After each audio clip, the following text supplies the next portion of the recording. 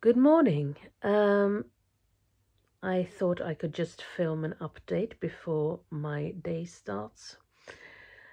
Um, I don't have that much to say actually, not about the gastric bypass journey because it's just you know walking along. Um, I have uh, I have.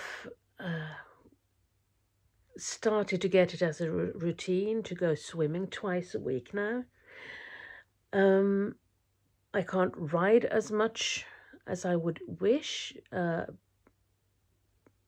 partly because I don't have time for it. Really, I could make time for it, but I don't really can do that now because, as I told you in an earlier video, my horse is pregnant and she is due in about four weeks, I think for four or five weeks. So she is getting heavy now. Uh, it's quite tough for her. And uh, from now on, I was out riding on. Uh, I was out uh, riding last Saturday, and that was. And she was tough. And we we are just walking. We're not even doing anything. We are just like taking walks. in the village where she lives. Um, and it's still quite, she was very tired afterwards. It's still a good thing that we do these walks, so it's not because she still needs to move and she still needs to kind of activate her head a bit.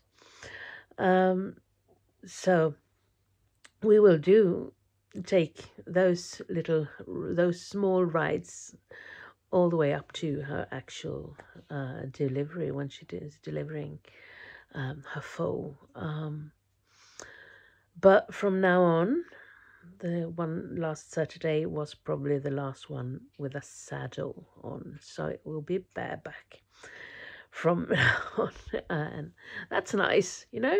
It's very nice to ride bareback, but um, you also can't do very much when you when uh, well people who are really good riders can do, do just about the same things when they are bareback as they do uh, with the saddle. So uh, that's about it. Uh, the only thing that is uh, that has happened is that I have passed twenty kilos. Um, I did that last week.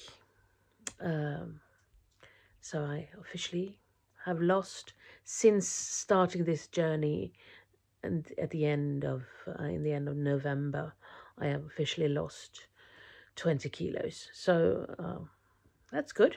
That's good. But that also was some kind somewhat expected.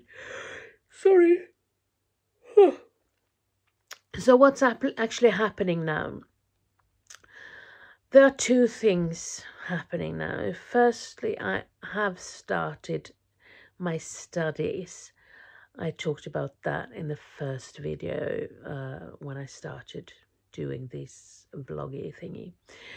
So uh, I have started my studies. I'm studying business development in in the tourism section or the tourism oh, what do you call that?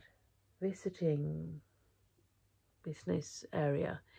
Um, so I have started my studies. I've been doing that for four weeks now, and I have my first uh, course uh, examination this week. So tomorrow and Friday are my examination days. So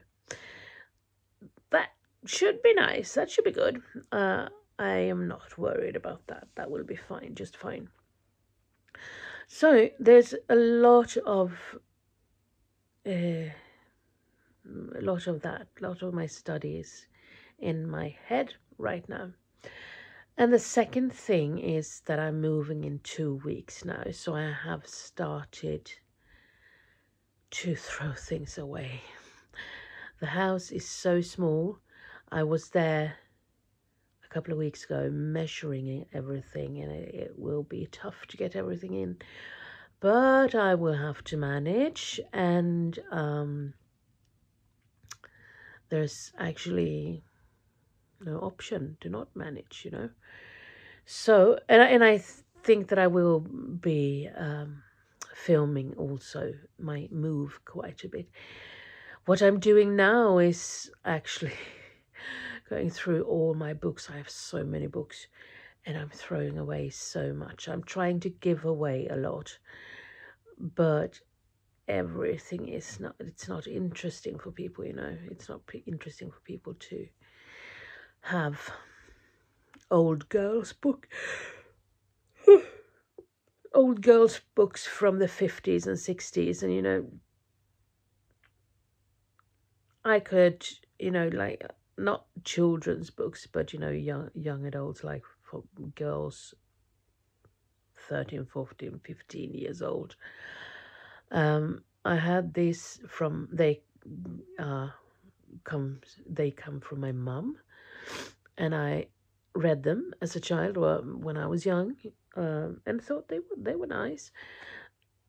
But i don't think they are okay today you know they were okay in the mid 80s uh, but today they are not. The gender, the portraying of uh, gender differences and how that that's not okay. So I think you can, of course, you could read these today, but you should not read them when you are 14 or 15 because your head is not is not developed enough for you to have that critical um, thinking with this. So so I think they are, um, and, and unfortunately, I don't know. I haven't gotten anyone who wants them, so unfortunately, probably I will throw them away, uh, and that hurts. But yeah, I can't. I can't make room for everything, and even thrift stores and secondhand stores and things like that. They don't want books because people don't buy books. Uh, just thinking that it's quite strange, a strange thing that we live today. If if anyone would have asked me 20 years ago that there soon will be a time when when uh oh my um encyclopedia encyclopedia encyclopedias. Encyclopedias. Well, you know, a bunch of books with a lot of facts in. Uh, when that wouldn't be a life investment because that's how we have always seen them, you know.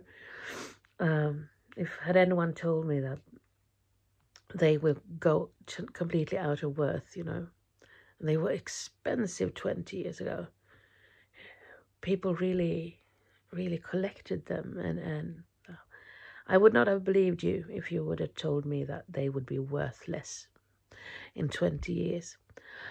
Uh, fortunately, I do have one of those uh, really old ones uh, that my grandparents had a subscription on in the 40s and perhaps 50s. It's possible that they even started in the 30s. I'm not sure exactly when they are printed, these.